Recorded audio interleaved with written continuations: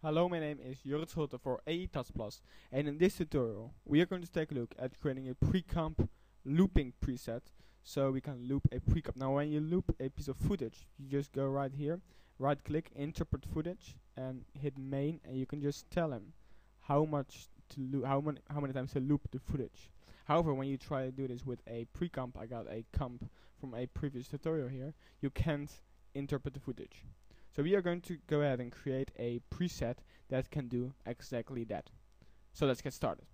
I have a new composition right here which is um, just empty. I made it uh, 20 seconds which is four times as long as the original comp. So I'm just going to drag this in and let's start creating a the, the preset. So this is going to be based on a uh, on a time time remap um, expression. So go ahead, right click, time, enable time remapping. And there we go. Let's uh, go ahead and when we just extend this, it's just gonna keep go going or become invisible. So we can do that. However, go Alt click on the stopwatch right here, and there's a very easy uh, expression you can apply to loop this comp. Right, so we're gonna type time, and basically that just um, and of course it's a just time like this without a uh, capital. And now just uh, keep on going like it should. But it still stops right here. So we need to reset this value each time it reached the end of the uh, original footage, the original pre-comp. So we're gonna go the percentage sign, which tells it to restart, and now we need to tell uh, tell it uh, after which which time to restart. Alright, so that's gonna be source dot duration. So now each time it hits the duration of the original pre-comp is going to restart uh, counting from zero. So basically you're going to go like this and then it's going to go and restart itself and it keeps on doing that infinitely. Alright, so that was pretty easy, but we're gonna get uh, go a step further because we're better than that. Alright, so when we go into the the composition, um, in After Effects you can see there are basically two looping options. So you got loop, which just basically loops it, and you got also an option called ping pong. And when we just play this, you can see that um, the footage just plays forth, and then it basically loops in reverse. And when it's at the beginning again, it starts over again. So we can um, get this as well in the expression. Uh, it's a little bit more involved than that. So to make this play backward again again is quite easy. So what you do then is just it source point duration minus Bobby already had and let's put that in between parentheses. So what it does now is it plays back and again plays back and keeps on doing that. So basically we want to make sure that every other time it plays it back. Okay, so for uh, to be able to do that we need a value that is 1 every other time this plays and 0 all the other times. Okay, so let's do that right now. And let's go. Actually, let, let's add a slider control so we can see uh, the value as we change it. So, so let's copy this right here.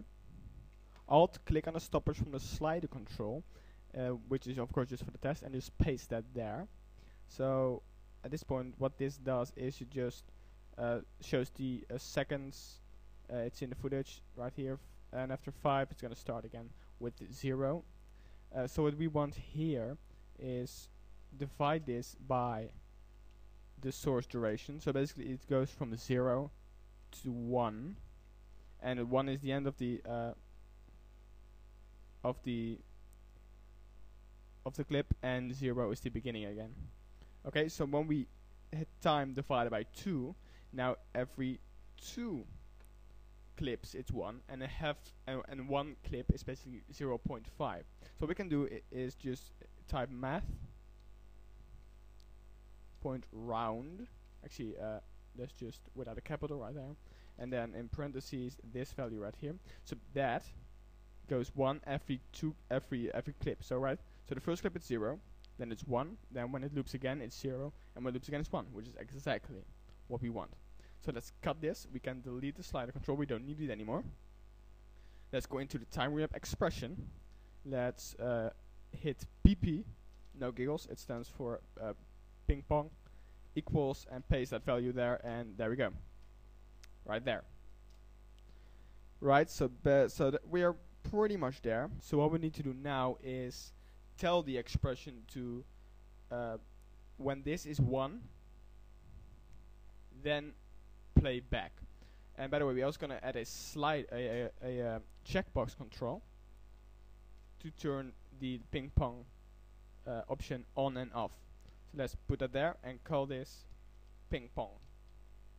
Right so we need to tell the expression. Now to when this value is this checkbox is on and when this is this value right here is 1 then do this else do only this. Okay so we're going to type if between uh, parentheses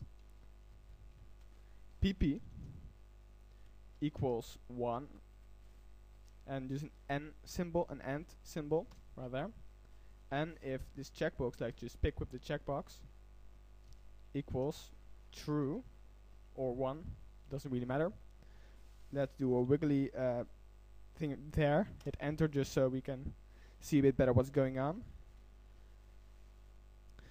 type um, so then we want this. There. Then between those two wiggly uh, lines go else.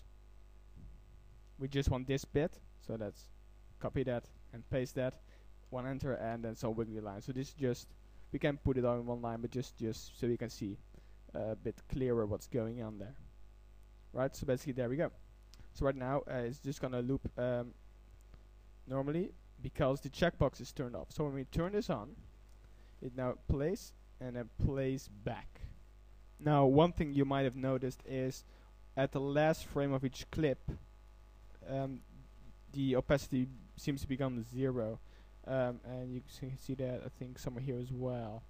Uh, yeah right there so this is a side effect of the half resolution. When we set it to, full you can see it doesn't do that anymore. So for some reason that interpolates uh, half, half resolution interpolates that a little bit differently but you shouldn't have any problems with that um, any further because it should work all fine. Okay so one last thing we can do about this expression is when we drag this uh, comp because this uh, uses the time function, which is basically the seconds in the composition, it doesn't really work. Uh, you can't really drag this back and forth. So the way we can fix that is just get a new variable, which is called let's call it t for time, equals time, and a minus this layer, capital L, point in point with a capital T. So basically, uh, the in point is the point at which uh, this uh, comp start, this uh, this layer starts. Right, so it could be there, it could be somewhere negative in time as well.